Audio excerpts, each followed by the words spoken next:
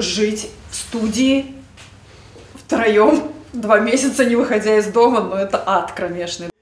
Именно пандемия заставила барнаульцев по-другому взглянуть на загородную жизнь. Точнее, стала спусковым крючком. В центре «Мой бизнес» эксперты обсуждают, что раньше жители многоквартирных домов не позволяли себе даже смотреть в сторону коттеджей. Сегодня свой дом перестал быть роскошью, уверены спикеры. Конечно, жилье за городом имеет свои минусы. Но, как считают эксперты, сегодня в частном доме стало проще жить за счет автоматизации процессов.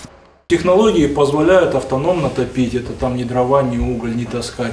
Технологии позволяют э, ставить э, там условно водоотведение, септики, да, которые ну, не требуют там выхода на улицу. Простота использования частного дома, она ну, то есть, повысилась и, соответственно, привлекательность э, стала гораздо больше.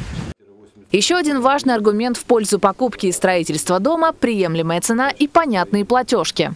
Женщины в возрасте, особенно пенсионерки, они говорят, ну, наверное, нам пора избавляться от трехкомнатных квартир, mm потому что мы своей пенсии не тянем коммунальные платежи. Ну и семья, которая платеж по ипотеке плюсом идет, поэтому они говорят, лучше мы в частном доме, ну, в коттедже, да, в своем будем жить и регулировать отопление. Есть э, круг платежей, которые, ну, у меня, например, вызывали всегда вопросы, там, текущее содержание, значит, ТДН, все прочее.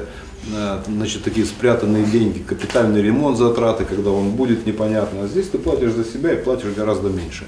Кстати, эксперты советуют при покупке или строительстве дома уже заранее задаваться вопросом, а как я его буду продавать? Именно поэтому стоит отказаться от башенок и прочих визитных карточек из 90-х. Другими словами, строить наперед, думая о том, как дом будет смотреться через 10 лет. Если раньше люди строили дома по 200-300 квадратов, это было ну, как бы нормально, то сейчас все понимают о том, что можно в нормальной площади, я имею в виду порядка 100 квадратов, да, то есть относительно небольшую, вместить абсолютно все, что будет удобно, комфортно, в принципе, для проживания.